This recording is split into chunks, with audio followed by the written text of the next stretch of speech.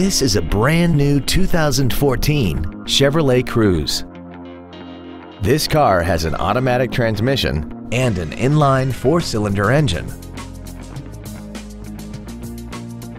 All of the following features are included. Traction control and stability control systems, air conditioning, full power accessories, a six-speaker audio system, 12-volt power outlets, front side impact airbags, a split folding rear seat, a rear window defroster, a keyless entry system, and XM satellite radio, which streams commercial-free music, news, sports, and more.